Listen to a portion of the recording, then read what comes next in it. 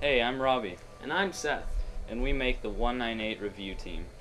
And today we are going to be talking about Geometry Wars 2 Retro Evolved. Now, this is the follow up to Geometry Wars 1, which came out when the 360 launched. And today we are going to first talk about our reviewing, how we review games. So, we first talk about gameplay, then we talk about replayability, presentation, and of course, at the end, about achievements, because we all love achievements. So let's jump right into our review here. First, we'll talk about gameplay. And the first thing about the gameplay is that it has great pacing. It starts out slow and simple, and then gets more challenging and more fun as it goes. Another great part about the gameplay is the great controls. It's really simple, you just have the two thumbsticks, one to move, one to shoot, and it just makes the game all the more fun. Now, some people dislike how they changed the weapons and the multiplier, but we think it's a great idea because sometimes you would get screwed over because you had the shotgun in Geometry Wars 1 when you had some enemies that didn't work well with them.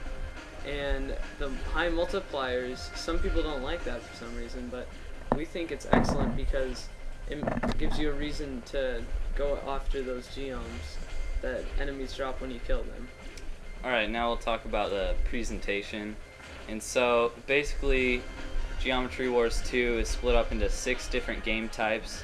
There's Deadline, which is just like a three minute uh, run for the points. You just go as much as you can.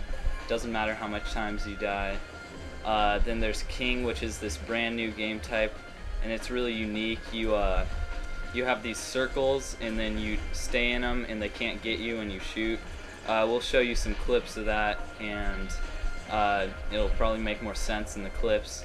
And there's the regular Evolved, which is pretty much the same as uh, Geometry Wars 1, except with the new like weapon system and uh, geom system.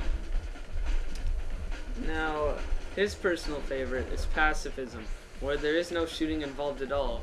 You actually kill enemies by going through gates, and collecting their multiplier gives you really high points.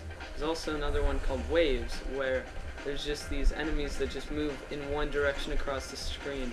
But the thing is, they keep coming after you. You have to keep eliminating them just to stay alive. And then Sequence, which is like a leveling kind of game, where you go through wave after wave kind of in a way you get little stops in the beginning.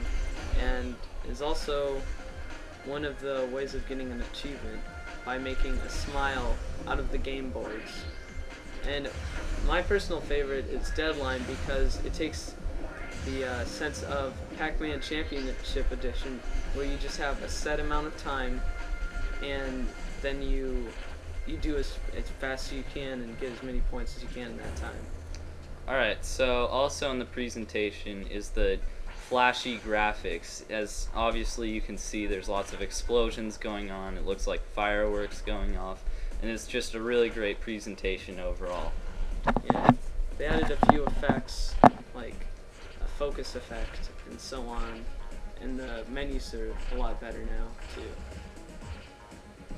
Now we're going to talk about replayability.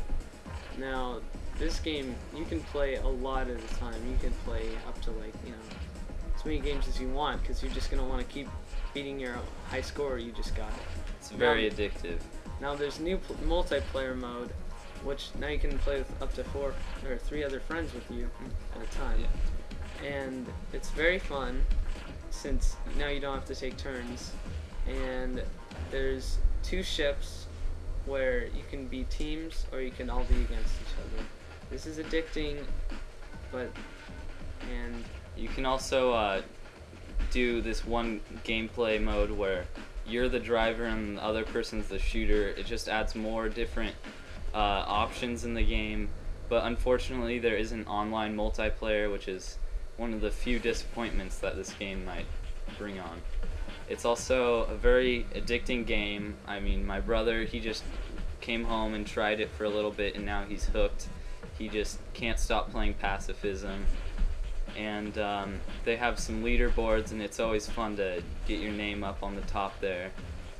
Um, We also have some pretty impressive high scores on there. I don't know. I somehow managed to get 47 million on there, and Seth, I'm sure, has some other uh, impressive achievements on the leaderboards. Thank you, Robbie. Thank you. All right, now for our last part is achievements. Now we're all big, really big achievement fans. You know, we all you know, the hundred thousands ten thousands and gamer points. Now these are really fun to get.